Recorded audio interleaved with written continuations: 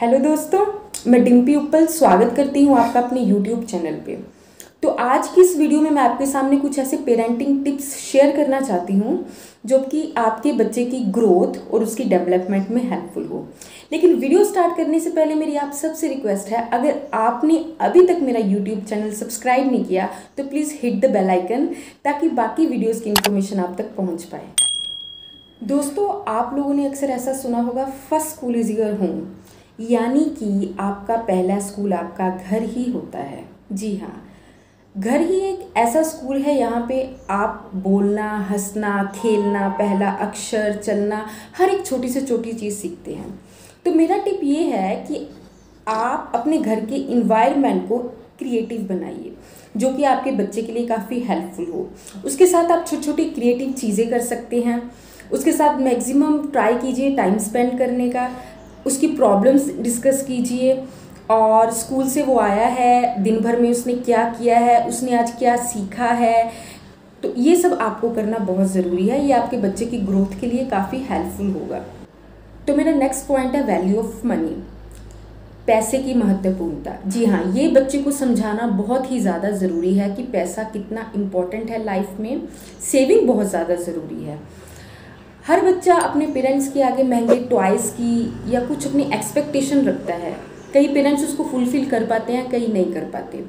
तो मैं ये समझाना चाहती हूँ कि आप अपने बच्चों की एक्सपेक्टेशन को रोको मत। उनकी कोई भी चीज़ वो खरीदना चाहते हैं, उस पर आप फुल स्टॉप मत लगाओ। आप उनको मनी सेविंग बनाओ, ताकि वो पैसा कलेक्ट करें। जैसे कि वो कोई भी अच्छा काम करते हैं, आप उसके लिए उसको पॉइंट्स या कुछ रुपीज़ देना शुरू कर दो।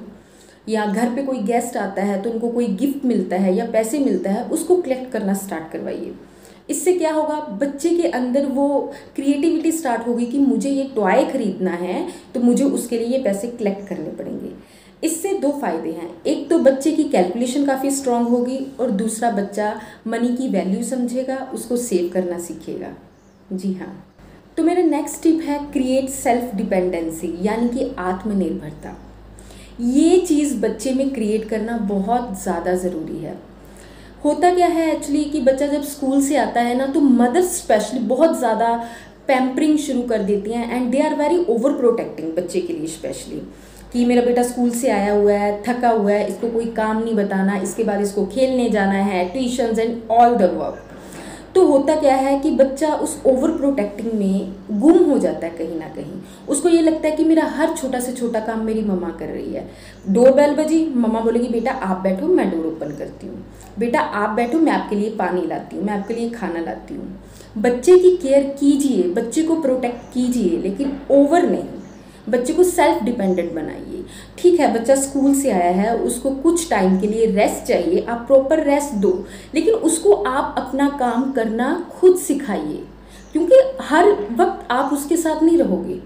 तो ये सेल्फ डिपेंडेंसी जब बच्चा सीख बचपन से ही उसमें ये चीज़ सिखाना शुरू कर दीजिए, ताकि फ्यूचर में ना उसको ये प्रॉब्लम हो, ना आपको हो। तो दोस्तों, मेरा लास्ट पॉइंट है स्टार्ट एप्रिशिएटिंग एप्रिशिएटिंग यानी कि तारीफ़ करना, यानी कि प्रशंसा करना। जी हाँ क्रिटिसिज्म तो हम बच्चे का बहुत जल्दी कर देते हैं, लेकिन अप्रिशिएट करना भूल जाते हैं।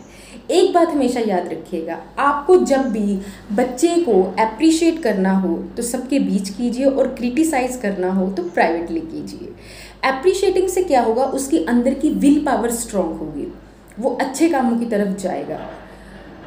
जब उसके चार लोगों में या आपके घर कोई आया हुआ है, आप उसकी तारीफ़ करोगे, आप उसको इनक्रेज करोगे करोगे, वो बूस्ट अप होगा कि हाँ मम्मा मेरी तारीफ़ कर रही है। लेकिन हाँ जब वो गलती करे, आपने उसको गलती को समझाना भी है, लेकिन क्रिटिसाइज हमेशा प्राइवेट में करो, ताकि बच्चे का बूस्टअप लेवल लो ना हो हाई हो। जी। दोस्तों आप लोग इन्वॉल्विंग पेरेंट्स बनो। उस बच्चों के हर काम में इन्वॉल्व हो। उनसे पूछो, उन्होंने पूरे दिन में क्या किया है? उनका किस चीज़ में इंटरेस्ट है? घर में ऐसा आप क्रिएट कर सकते हो।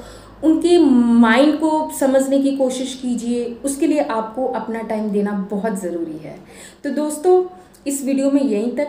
अगर आपको ये मेरी वीडियो अच्छी लगी हो तो प्लीज़ इस वीडियो को लाइक करना ना भूलिए। मिलते हैं नेक्स्ट वीडियो में।